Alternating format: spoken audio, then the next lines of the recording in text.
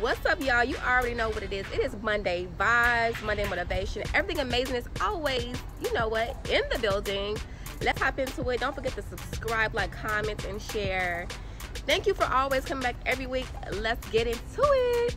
Just what if? What if it all works out? What if it doesn't? What if it does? What if it doesn't? You know, that back and forth.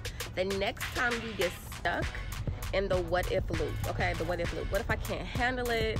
What if I fail? All these doubts. What if they judge me? What if I look crazy? I don't mind looking crazy, okay? What if I sound stupid? What if I lose people around me going to the next level? it's gonna happen. Let me just say that. The what if game. What if it all works out? What if it does? What if it doesn't? Okay. God will not put something deep down in your soul for it to not work out. Trust me. You may have to re-strategize that thing. Yes, re-strategize that thing, but in the end, you win. What if it all works out? Okay? What if it all works out?